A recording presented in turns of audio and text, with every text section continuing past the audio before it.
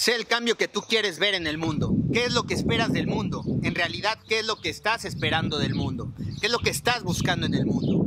Muchas reflexiones de esta naturaleza se tienen que hacer cuando en verdad queremos descubrir nuestra esencia, nuestra verdadera identidad, el propósito de nuestra vida. Y mucho de eso tiene que ver con terminar con esta cultura del sufrimiento. ¿Por qué de pronto surgió la cultura del sufrimiento y por qué estamos inmersos en esa cultura? ¿Por qué estamos sufriendo y padeciendo lo que somos en consonancia con nuestra relación con el mundo, en todo lo que hacemos, en todo lo que constituye nuestro proyecto de vida?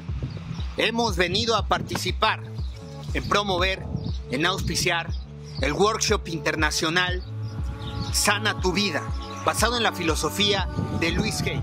Un workshop internacional que ha tenido éxito desde la década de los 80 en todo el mundo.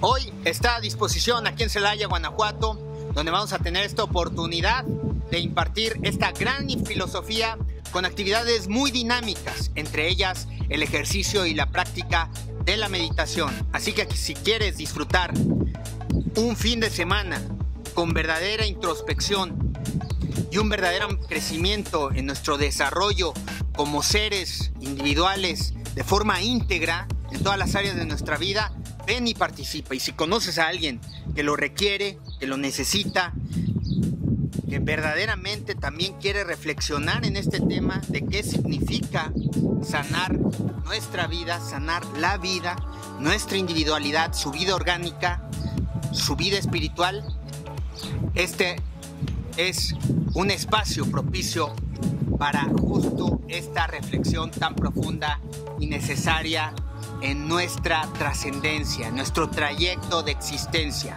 No pierdas la oportunidad e inscríbete. Y si conoces a alguien más que lo requiere, comparte esta información, exhorta, invita, haz comunidad.